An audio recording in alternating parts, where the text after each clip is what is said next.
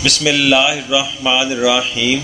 इन्ना व इन्ना राजिऊन। सुबह जागते वक़्त तीस बार पढ़ने के हैरान कन फ़वाद जो शख्स सुबह इन्ना व इन्ना राजिऊन पढ़ता है तो अल्लाह पाक उसके सारे दिन की परेशानियाँ और तकलीफ़ें दूर फरमा देता है।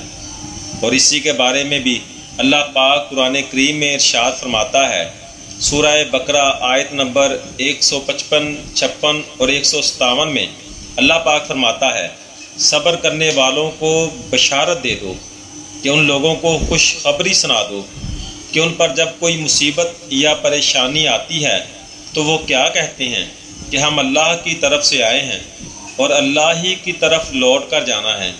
उनकी तरफ़ से द्रुदो सलात हैं। और उसकी तरफ़ से फजल है, रहमत है, और यही लोग हदायत याफ्ता हैं। इस आयत की बहुत बड़ी फजीलत है।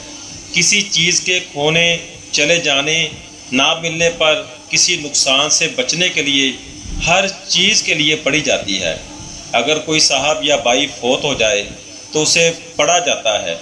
लेकिन हमारे माहौल में अगर कोई बीमार हो जाए तो कोई पढ़ने इन्ना लिल्लाहि व इन्ना इलेह राजिऊन। तो उसे कहते हैं, अभी बीमार है, मरा तो नहीं, तू पहले ही ये पढ़ रहा है।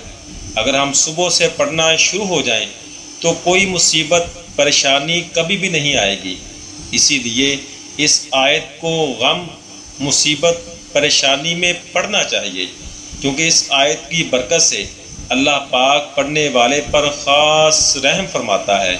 और उसकी मुश्किलें हल कर देता है। वजीफ़ा, सुबह के वक़्त बस तीस मरतबा ये आयत पढ़ दिया करें और फिर इसके फ़वाद देखकर आप खुद हैरान हो जाएँगे।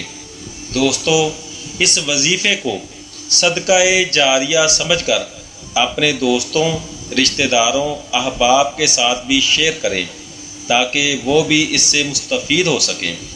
दोस्तों दुआओं में याद रखें। अल्लाह हाफिज़।